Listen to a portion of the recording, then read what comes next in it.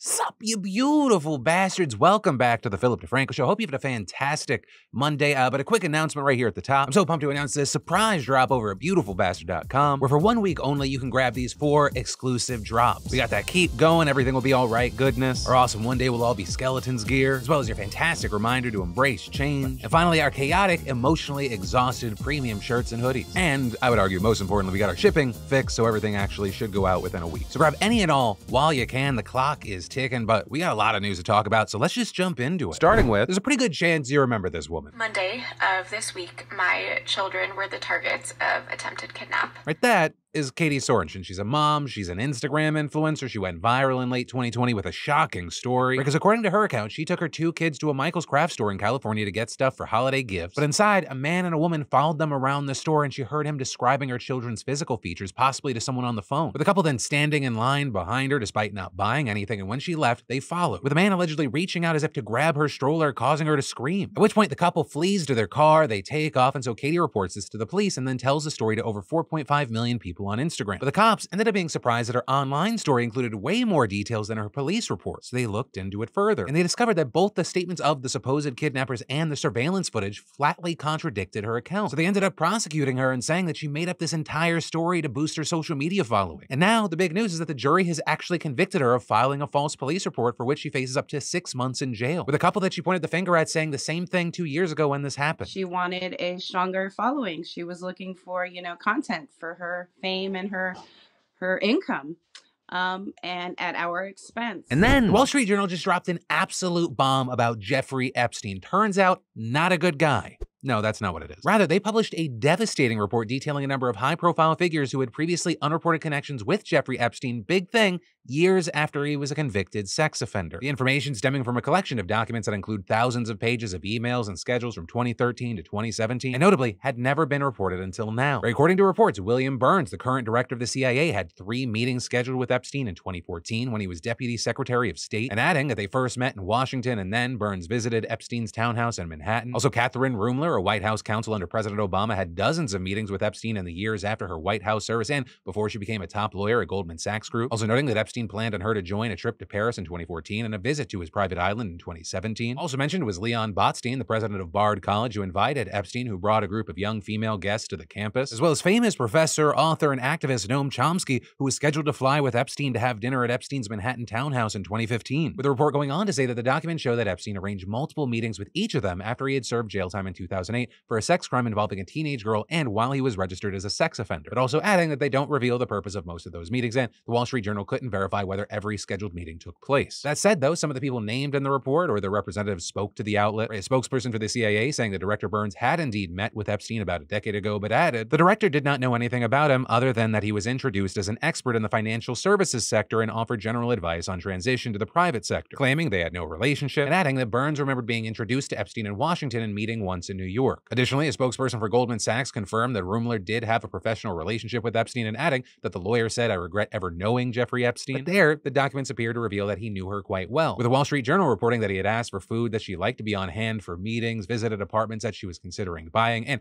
even knew of her travel plans, telling an assistant in 2014 to look into her flight to see if she could be upgraded to first class. Beyond that, the records also reportedly showed that Epstein and his staff had discussed whether Ruemmler would be uncomfortable with the presence of young women who worked as assistants and staffers at the townhouse, and the outlet adding that women emailed Epstein on two occasions to ask if they should avoid the home while Miss Ruemmler was there, and Epstein telling one of the women he didn't want her around and another that it wasn't a problem. And over the course of a few years, Ruemmler had more than three dozen appointments with Epstein, including for lunches and dinners. So the Goldman Sachs spokesperson did claim that she never visited his island and never accepted an invitation or an opportunity to fly with Jeffrey Epstein anywhere. Meanwhile, Botstein said he was just trying to convince Epstein to donate to his school, with the Wall Street Journal reporting that the Bard College president had about two dozen meetings scheduled with Epstein over about four years, which were mostly visits to the townhouse. And the article also reporting numerous scheduled meetings between Epstein and Chomsky, including one where Epstein was planning to fly with Chomsky and his wife to have dinner with Woody Allen and his wife. Now, Chomsky, for his part, confirmed that he had met with Epstein on multiple occasions, but was vague about the meeting with Woody Allen while also seemingly defending the director, who, of course, has also been famously accused of sex crimes against minors, saying if there was a flight, which I doubt, it would have been from Boston to New York, 30 minutes. But also, notably, both Botstein and Chomsky told the Wall Street Journal they believed that Epstein had served his time while they met with him and appeared to have no issue with his sordid past. With Botstein saying, We looked him up and he was a convicted felon for a sex crime. We believe in rehabilitation. While Chomsky argued that at the time of his meetings, what was known about Jeffrey Epstein was that he had been convicted of a crime and had served served his sentence, and saying according to US laws and norms, that yields a clean slate. But also, a, a key takeaway here is that all those people we just talked about were just some of the prominent figures flagged in the document. With the records also reportedly mentioning scheduled meetings with members of the Rothschild family, Harvard University professor Martin Nowak, prominent businessman Joshua Cooper Ramo, and an Israeli prime minister, among others. And then, Dave Chappelle, depending on who you ask, is a beloved or hated figure. And as it turns out, he's also a pretty divisive figure where he lives, Yellow Springs, Ohio. A place you've seen connected to Chappelle in so many headlines over the years, whether it be for hosting outdoor, socially distanced comedy shows during the pandemic, or for interfering with the development of property there that could be partially used for affordable housing and then also buying that land. You know, this town has been described as a very unique place. It has strong historical and cultural roots, Chappelle previously describing it as a Bernie Sanders island in a Trump sea, with Bloomberg saying that its politics can be summed up by a sign at a local church that reads 10:30 a.m. Sunday, an eco-feminist interpretation of Genesis 1:3, in person, masks required. But what places like Bloomberg are doing right now is they're really focusing on Chappelle's property ownership, because reportedly around 2018 he incorporated a holdings company and began buying properties in the downtown area. So much so that by 2022, under both his name and under the holdings company, he owned a total of 20 properties in the county, with a lot of these properties being commercial or business locations. And so a meeting with local business owners was held, including with Chappelle, with one item on the agenda being Dave's up to something. With that part starting with praise for Chappelle helping the town's economy amid COVID. Chappelle also sharing his vision of the town being a cultural mecca. But you also had Chappelle feeling insulted that there were so many people suspicious of his efforts, especially given everything he's done for the community. But also on the other side, you had business owners feeling disrespected for Chappelle snapping at them. And so after that, some local businesses put out signs in support of Chappelle, thanking him for his contribution, while others just didn't. And no matter what stance a business took, it kind of felt loud. With Bloomberg speaking to people on both sides here, what they notice is that you had a lot of people saying Chappelle has a strong base of support in the village, but also noting that few people will actually say anything critical of Chappelle on the record. But with that, off the record, some called him a force that's turning us into the place we're all trying to stay away from. Some even comparing him to Trump for his pattern of not apologizing, doubling down, and blaming someone else. And all of this coming as the topic of property and land ownership in Yellow Springs has been a very hot one as it's facing serious housing issues right now. With reports explaining the tight housing supply has left Yellow Springs richer, older, and whiter. And noting as of 2020, the village was less than 11% black, down from 26% in 1970. And reporting with no condos or apartments to downsize into, retirees keep their underoccupied homes off the market, while young families and service workers end up in the unexceptional but cheaper cities nearby. With one source telling out that a lot of people want to blame Chappelle for the town becoming so unaffordable, even though that blame might be unfair. And I will say, if you want an even deeper dive into this, I'll link to the Bloomberg report down in the links. It seems like just a messy situation in this town, but also one that asks a lot of questions. Right, Chappelle getting lots of credit for helping the town amid a pandemic, reviving local businesses. Does that earn a person unlimited goodwill? Or also, at what point are you allowed to question someone who has done a lot of good, supported a lot of livelihoods? Or how do you balance and separate praise that exists of him in one arena and the criticism that he might face in others? And then, for any of you focused on getting your business off the ground, creating a place to share your homemade goods, new favorite hobby, current obsession, or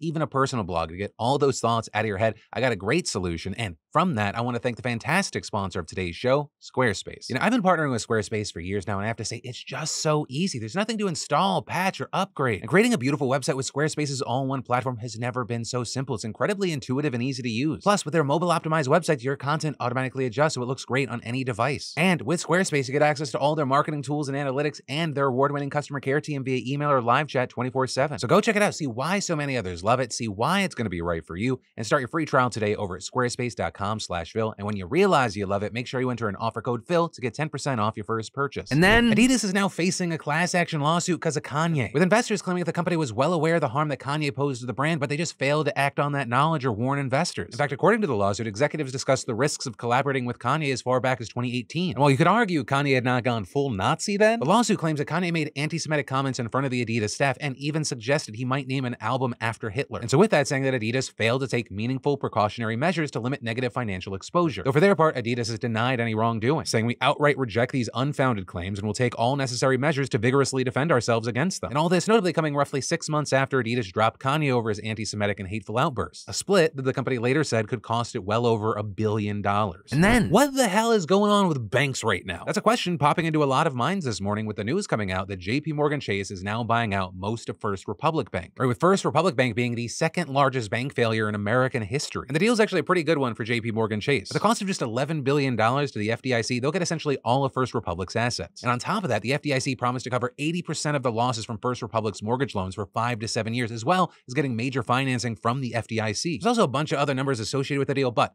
When all is said and done, they're expected to get a one-time gain of $2.6 billion out of the deal. Although they'll also spend about $2 billion in restructuring over the next year or so. But even then, that's like what, an easy $600 million for the banking giant? Not to mention the potential long-term gains, which also led to a little stock bump. Now, as far as the FDIC, it'll lose about $13 billion from the deal, although that money is ultimately paid by American banks through their premiums to insurance. And then, the tragic death of Irvo Otieno goes way deeper than anyone first thought. So this whole shitstorm kicked off on March 3rd when Virginia police took 28-year-old Ivo into custody while investigating a suspected burglary. They accused him of attacking them, and his mother says that he had a history of mental illness and was suffering mental distress in the days leading to his arrest. And then, while he was in jail, surveillance video shows officers entering his cell and confronting him, with a prosecutor saying that he was kneed, punched, and pepper sprayed. Next, you see them struggling to get him into a white van, so they put him in a police SUV instead, driving him to Central State Hospital, a local psychiatric facility where he would remain for the rest of his life. But that's only because on March 6, while he was shackled and handcuffed, 10 people smothered Irvo with their bodies for at least 11 minutes until he died from suffocation. So we had Irvo's mother garnering nationwide sympathy with her heart-wrenching words at this press conference. Irvo was my baby. He was special. He had an infectious smile. Oh, I'll miss his smile. Was handsome. He was a hunk. My baby was handsome. You all know him because you know him, no? And now all 10 people involved in Irvo's death, including three hospital staff and seven sheriff's deputies, have been charged with second degree murder. But also we now know from an investigation by Insider that this case, though extreme, is just a part of a long pattern of abuse at the hospital, with employees over the last five years substantiating 31 reports of physical abuse, 33 of neglect, 9 of verbal abuse, and 3 of patient exploitation. Moreover, there were more than 600 cases of abuse that couldn't be substantiated, including 56 of sexual abuse. one of those incidents came just one day after Irvo's death involving one of the three staff members who were charged there. And then there's a manhunt still underway for the monster who shot and killed five of his neighbors, including an eight-year-old with an AR-style rifle in Cleveland, Texas. According to authorities, the shooting took place late Friday night after the suspect had been shooting his gun in his yard when his neighbor, Wilson Garcia, asked him to stop so his baby could sleep. With Garcia saying the man told him that he would do what he wanted in his yard, so Garcia told him that he'd just call the police if he didn't stop. With his monster responding by walking across Garcia's yard and shooting his wife who was standing at the front door. With Garcia Garcia then telling local reporters that this man then went room to room looking for people, noting that he and his wife had company over that night, with this monster then fatally shooting Garcia's eight-year-old son and three others in the house. And according to the county sheriff, Greg Capers, two of the women were killed while protecting Garcia's baby and two-year-old daughter, and adding that the children are now safe and with family. Authorities also saying the suspect had been drinking when the attack occurred and that he had a history of shooting his rifle in his yard, prompting neighbors to call law enforcement on him before. But when questioned by reporters about whether the suspect could legally shoot his gun in his yard, Sheriff Capers said it depended on how large the property was and where the weapon was pointed. With this, there's also been criticism of Texas law enforcement's handling of the situation. Officers reportedly responded by searching the wooded area near the neighborhood where the shooting took place but lost the suspect's trail. And currently, more than 250 officers from local, state, and federal agencies are participating in this manhunt, but authorities say they have no leads. With officials also offering $80,000 for any information that could lead to the arrest of the suspect, though they have warned that he could be armed and dangerous. And James Smith, the FBI's special agent in charge, telling reporters, What we need from the public is any type of information because right now we're just running into dead ends. And adding, We have zero leads. The situation also hasn't been helped by the fact that law enforcement officials say they had mistakenly disseminated an incorrect image of the suspect that was circulated by the press and on social media before a correction was made. Though there, it's not just law enforcement officials that are facing backlash right now, with Texas Governor Greg Abbott also being slammed for his response to the attack, or because Abbott tweeted, I've announced a 50k reward for info on the criminal who killed five illegal immigrants on Friday, But I'm also noting that the suspected gunman was, quote, in the country illegally. But a lot of the outrage has been focused on his language around the victims. Right? These are people who were murdered, why not just call them people? Why talk about their immigration status?